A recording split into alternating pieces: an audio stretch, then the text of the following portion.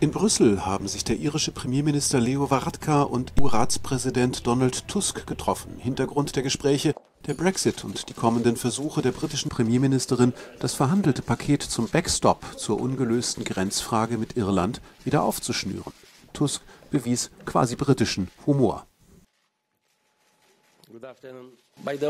Übrigens habe ich mich gefragt, wie dieser besondere Ort in der Hölle wohl aussieht für die, die den Brexit vorangetrieben haben, ohne auch nur eine Idee eines Plans zu haben, wie man ihn sicher umsetzt. Tusk betonte, 50 Tage vor dem Austrittsdatum sei es oberste Pflicht für alle Beteiligten, einen ungeregelten EU-Austritt zu verhindern. Klar sei aber auch, dass in der irischen Grenzfrage Garantien nötig seien. Wir erwarten, dass der Backstop nie nötig sein wird, aber wir sind uns einig, dass er als juristische Garantie nötig ist, damit es keine Rückkehr zu einer harten Grenze in Irland gibt. Zugleich schützt er die Integrität des europäischen Binnenmarktes und der Zollunion. Ich denke, die Ereignisse in London, die Instabilität der britischen Politik in den letzten Wochen zeigen überdeutlich, warum wir eine solche Garantie brauchen.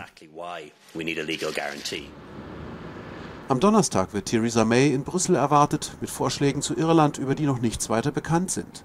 Derweil plädieren anscheinend schon einige Minister der Regierung May für ein Verschieben des Austrittsdatums